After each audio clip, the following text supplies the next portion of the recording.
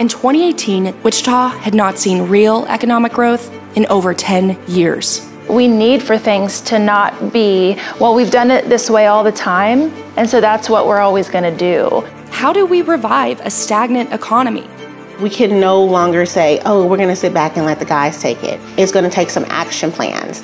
How do we attract and retain talent?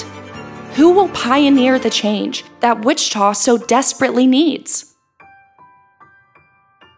The future of Wichita is inspiring others to do what they want to do. We're ready for change and we are